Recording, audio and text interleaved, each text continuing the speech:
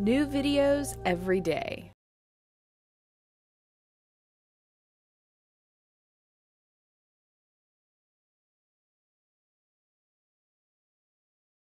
I'm Dr. Vince Bellonzi, and I work with another doctor, Dr. John Hest. Uh, he's a medical doctor. I'm a chiropractor and a nutritionist, and we have an integrative medicine center.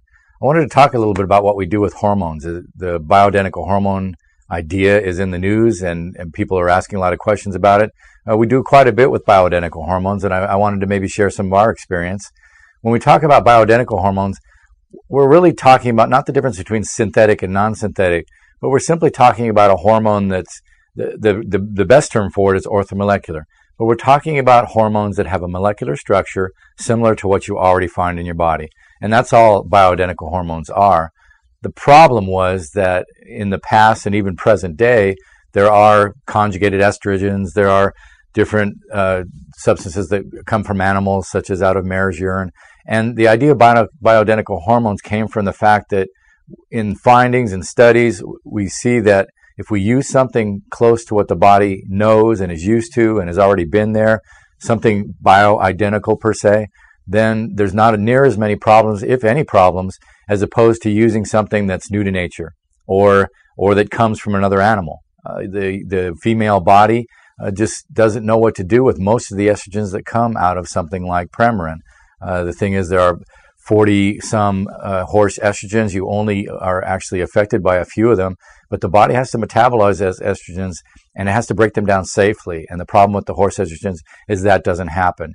And if you don't turn over your estrogens or break them down and metabolize them and, and are able to get rid of them, they can be turned into something very dangerous. So there are many, many problems with the non bioidentical estrogens. So when we work with bioidentical estrogens, that's one of the problems. We're, we're we're better off using something that works with the body that the body recognizes that's already present in the body or at least has a molecular structure that's just that's like it so we want to work with with something that's physiological we want to look at all the different hormones that are in the human body and create a balance. And that's really what has to be done with with hormones. You, you can't simply simply go buy a hormone uh, over the counter and just start taking it because there are so many hormones to, to look at.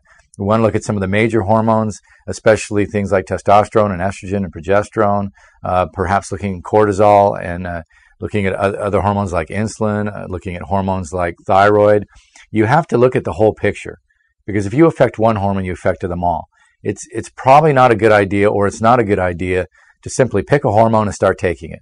Uh, for example, a woman goes into menopause and you decide, well, we'll just give her estrogen because her estrogen levels have gone down. Well, so have other levels of other hormones.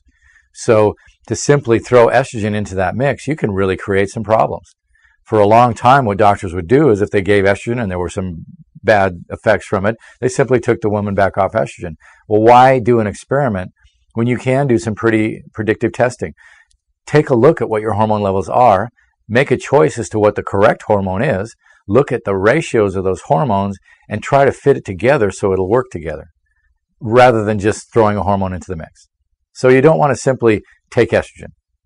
If it's appropriate, if it's the one that's needed, then you take it.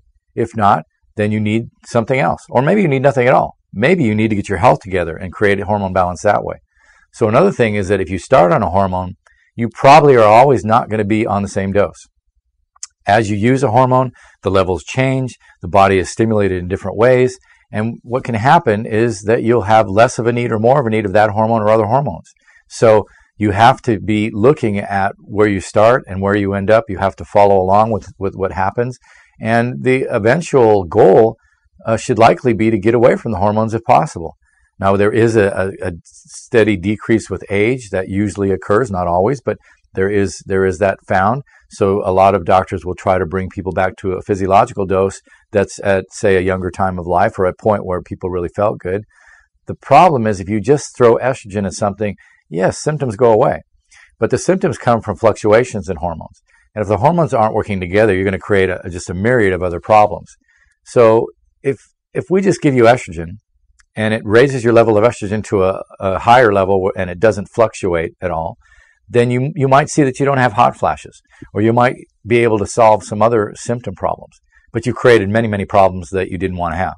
Because estrogen is a very, very strong hormone. It can cause a lot of damage It can do a lot of things that you don't want to occur.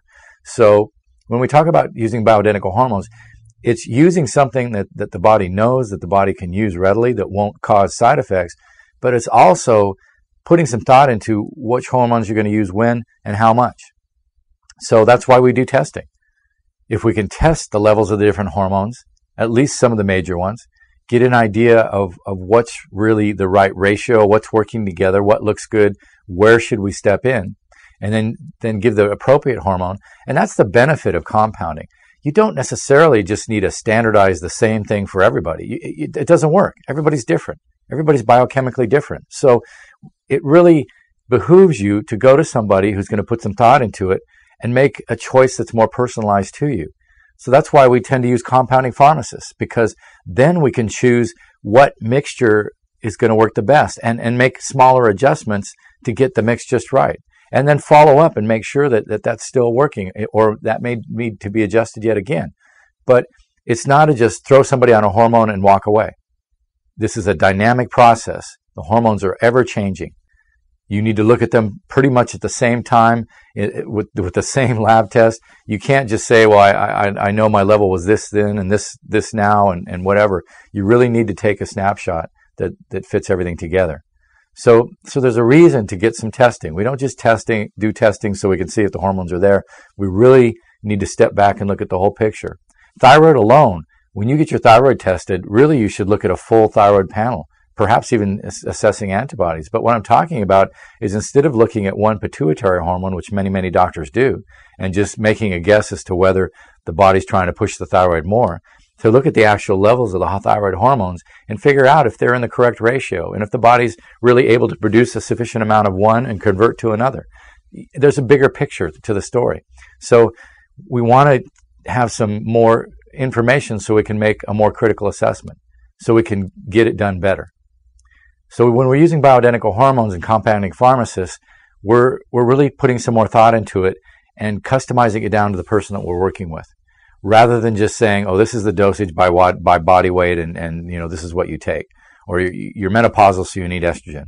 Or you're a man and you're over 50, so you need testosterone. Or you, you need this, you need that. Uh, how do you know? You've got to take an assessment. You've got to, you've got to probably do a lab test. And what lab test you choose makes a difference as well. For some applications, especially the way that you're going to dose the hormone, you can use blood serum. But then sometimes saliva will actually be better. In some cases, you're going to want to look at the urinary ex- ex- excretory hormones and what's come out. Any of them can be used to make assessments, but depending on what you're going to use for the dosage, are you going to use a cream or a pill or are you going to do an injectable? I mean, there's some thought that should go into this. And then you have to use the appropriate testing to follow what you've done. So all of this process goes on and if you do it right, you can get just wonderful benefits rather than just saying, well, my hot flashes are gone. Well, have you created other problems? So if we can get it all working together, we can then get to a, point where the body does function well, where we do have uh, the least amount of problems, where you, your energy's up, your bone density stays. I mean, all the things that we, we see that hormones do, but the hormones have to work together. So when we talk about bioidentical hormones, really it is worth going to somebody who will make an assessment and then make a good judgment on what to give you instead of just standard dosage, standardized extract. It's it's just uh, it's not a cookie cutter when it comes to your body. So I, I work with, like I said, a, a, doctor named John Hest. He's a medical doctor, and he's become quite a, an expert in doing bioidentical hormone therapy. And it's because he's done some study. He's he's done quite a bit of studying on, on how to fit these hormones together. And therefore, his treatments are becoming more and more successful. And there are many docs out there that, that are extremely intelligent and, and have figured this out. And it's, it's kind of a good thing that, that celebrities like Suzanne Somers and Oprah Winfrey have, have kind of brought this to the forefront because it is a better way to approach hormonal balance. Again, rather than just using some standard uh, that, that's supposed to apply to everybody because we're all different. So seek out somebody who does bioidentical hormone therapy and has the knowledge and the expertise to, to figure out some of these things, or at least to do a better job than simply eh, blindly throwing a hormone at you. Nobody knows whether you need synthroid for thyroid or whether you could use some other mix. Synthroid is not bad, it's just not for everybody. Nobody knows if you need estrogen. Estrogen is not bad, unless we talk about estrogens that are that give a problem to the body that are I don't want to call them synthetic, let's call them non-bioidentical. They come from either another animal or they're made in a lab and a new nature molecule that becomes patentable, uh, but it's it's altered from what you would normally find. Uh, many of the progesterones that that are prescribed to people are thought to be progesterones. They're really not. They're progestins. They're they're chemical mimickers. They are something different. So if you're going to use progesterone, you want to use a real progesterone. But back to the point, you want to make a correct assessment. You want to make sure that you're gathering as much information as you can, making the right judgment, the right call, and putting together the mix that's right for you. It may be just one thing, it may be a mix of several things that have, have to be used. And then back to what I always talk about. There are many things that you can do to help create a hormonal balance. There can quite possibly reach a day where you don't need those exogenous hormones. You don't need to take a hormone from the outside because your body steps up and does its job again. How do you do that? You eat impeccably. You get those nutrients in. You exercise. You have enough activity to turn on your body systems and get everything functioning well. And then you take a look at where you are. Sometimes there are things such as metals. We find many times mercury can interrupt what the thyroid gland can do. And we get the mercury out, Thyroid starts functioning, no longer need thyroid hormone. That's just one example out of many. So somebody needs to make proper assessments and it's a strategy. It's, it's, it's a marathon, not a sprint. We've got to take time and assess what's going on. Start off by getting the mix right and then keep trying to hone it and get it better and get it to a point where hopefully your body can take over and be self-sufficient. That's called health. So this is Dr. Vince Bellonzi check out bioidentical hormones, talk to somebody who's knowledgeable on it. You can give a call to our clinic. Uh, again, if you have any questions for, for, future videos, don't hesitate to, to give our office a call, office a call or, or uh, contact uh, the source of these videos. But uh, it's been a great pleasure talking to you. We'll speak again. There are over 350 videos on our channel, and I doubt you've seen them all. And the topics range from weight loss, nutrition, sexual health, all the way to psychology and mind control, and anywhere in between. And I think if you check them out, you're going to find some really interesting stuff.